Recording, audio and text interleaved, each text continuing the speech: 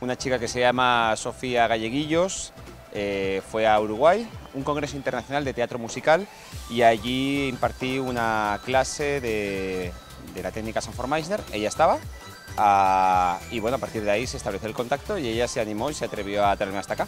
La recepción que tuvo la escuela con la idea fue maravillosa. Desde el momento uno que yo llegué a la oficina de María Elena con todos los papeles que me había mandado Iñaki, le dije, quiero hacer esto, tengo esta idea y me apoyó enseguida.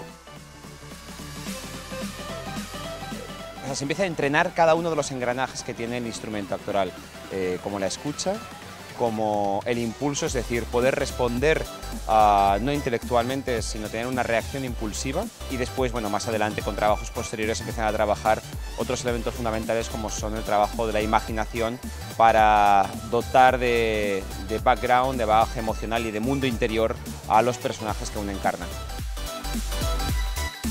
El estudiante de arte en general, al fin y al cabo lo que va a hacer es un camino para descubrir cuál es su propio arte pero para ello va a necesitar eh, ir como apretando diferentes interruptores, diferentes teclas, hasta que alguna tenga cierta consonancia con algo que en su interior necesita ser expresado.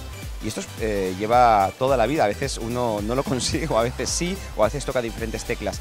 Entonces, cuanto más amplio sea y la avenida de conocimientos, de experiencias, ah, creo que va a alimentar de una forma mucho más amplia al estudiante de arte.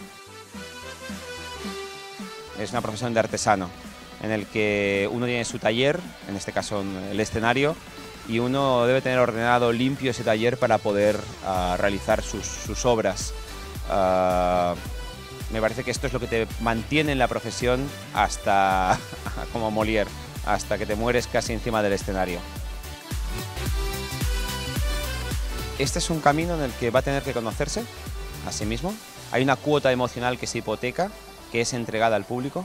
No es para todo el mundo, es una profesión de riesgo, de riesgo emocional, ah, muy atractiva, muy divertida.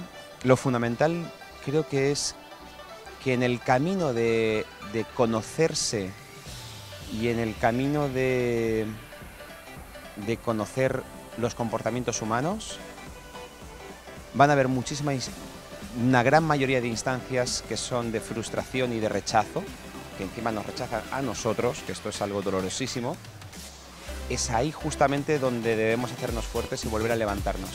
Es una profesión de levantarse constantemente. Entonces, a, mí me parece muy atractivo porque al fin y al cabo la vida es eso, levantarse. Así que les animo a que, a que nada, sean valientes y que, la, que además es una profesión hasta el fin de los días. ¿eh? No es como un deporte que a los 30, 35 te retiras, no, esto es para siempre.